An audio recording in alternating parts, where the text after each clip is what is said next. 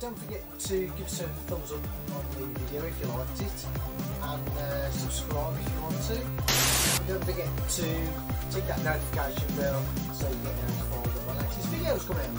That also uh, helps the channel, and I'll catch you next time. Bye.